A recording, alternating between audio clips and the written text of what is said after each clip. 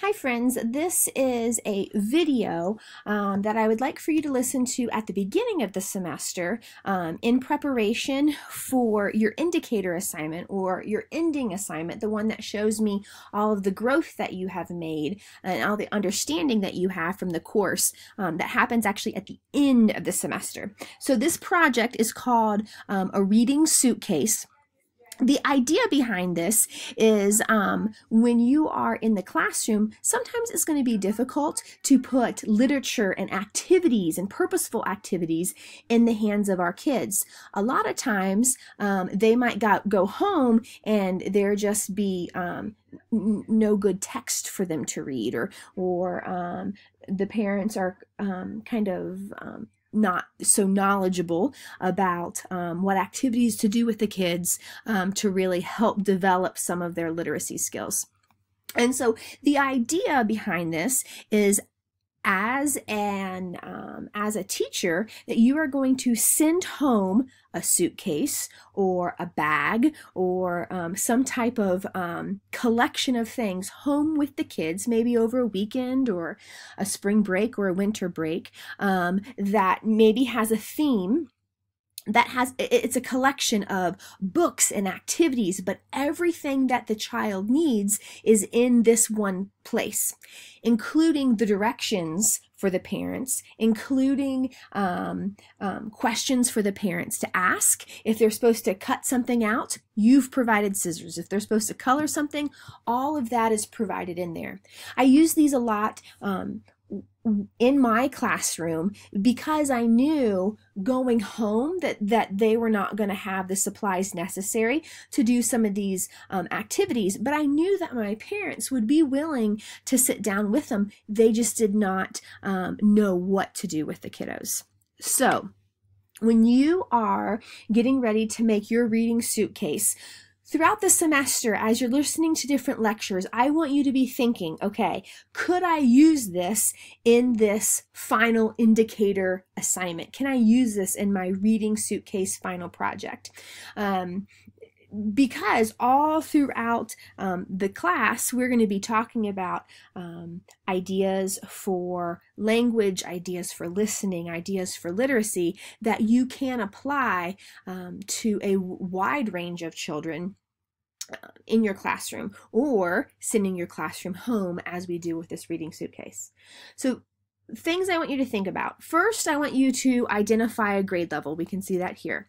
Tell me, um, choose a grade level that you would feel comfortable with. Maybe it's a grade level that um, you could see yourself working in. I want you to choose a grade level that um, is applicable to your interests so you can use this in the future. Now, let's say you choose third grade and you end up teaching fifth graders. Will you have a fifth grader on the third grade reading level. Totally. That is a reason why at the end of this semester, you are going to share your reading suitcase because it's going to be packaged as a PDF.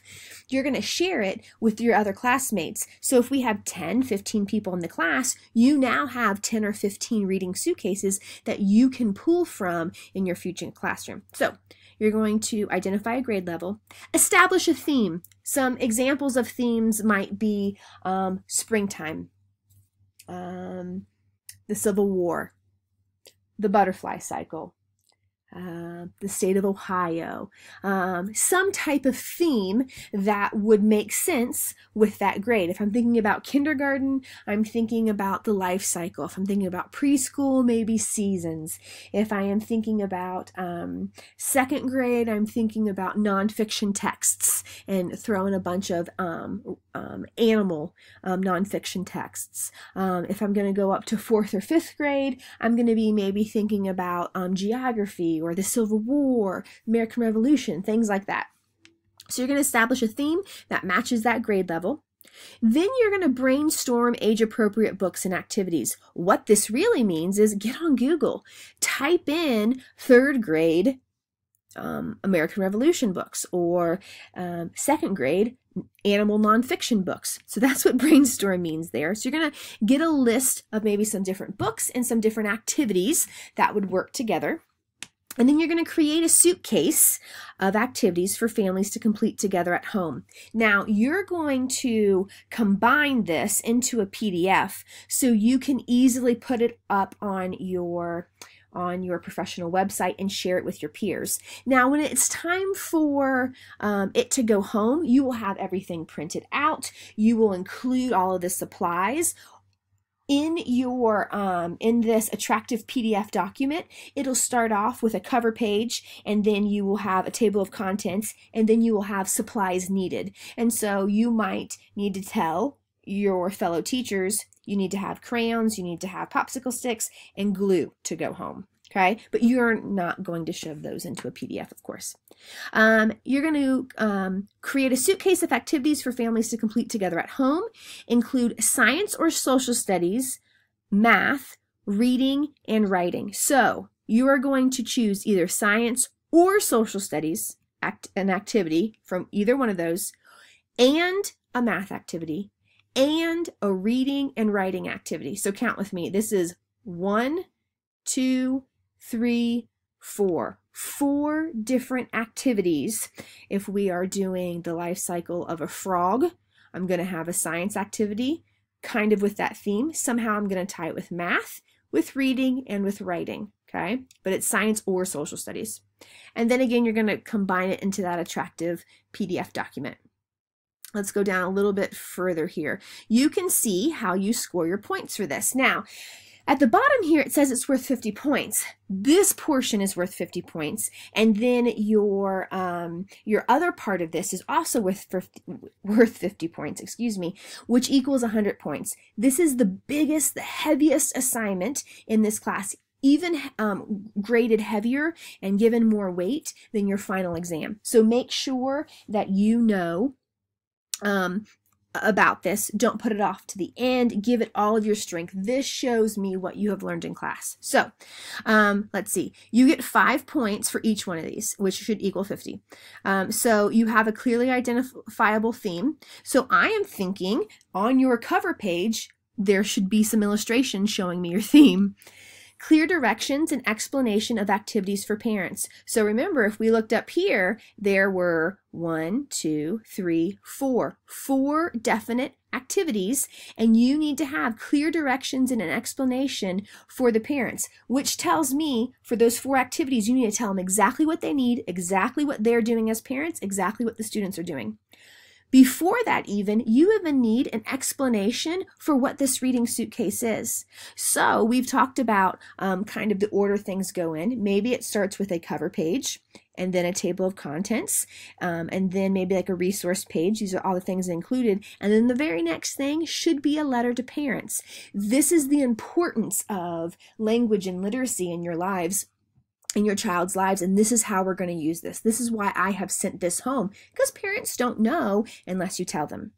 And then you are going to choose three different books and you're going to have pre-written questions for parents to ask their kids. We're going to be talking about low level and high level questioning in this class and that right there is going to practice that. So with three books, you have three questions that goes along with it. You have an age appropriate reading activity, writing activity, math activity, and then science or social studies. We just talked about that, right? So four different activities, three different books with pre-written pre-written questions. And then it's all in one PDF submission onto TaskStream, and that's 50 points. Once you have that, you will be ready for the next part of our project, which is a infomercial we are making this infomercial because you could put it up on your professional website to inform future administration or um, fellow teachers about the reasoning behind this reading suitcase. Um, you could put that up on your professional website. You could share it with parents. Um, and it is also good to practice your academic language on why are we doing this. All of my assessments and all of our activities is just not to do because hopefully you can really use them in your future classroom. So things to remember, know your audience, um, make sure there's a professional quality of your video, explain the purpose of a reading suitcase, explain the activities, explain the benefits. Why are we doing this? The parents want to know. Um, if you do give them good benefits, um, saying this is why we're doing this, they will get on board easier. Include information through visuals and text. I want to see both of those. And I should have images on this video, spoken word on this video, text, and background music. This needs to be really well produced, but you cannot have a really nice production of something unless you have good bones, and that's where this comes in, right? So what I'm going to ask you to do in the beginning of um, um, when we start working on this at the end of the semester is that you are going to submit for me just this. And we're going to talk about it and we're going to make sure this is really strong. And then I'm going to give you the okay to move on to your infomercial because I don't want you to create an infomercial on a shaky reading suitcase. That's not fair to anybody. And then this is going to be due about a week before um, the semester ends because if it's not done well, I'm going to zip it back to you and you're going to keep doing it until you have produced um, a product that you can be proud of to use in your future classroom. So if that means you do it two or three times, it means you do it two or three times. But we want to make sure that you have really conquered this thing, you understand the purpose of it, and you have really showed the concepts that you have learned through this communications class.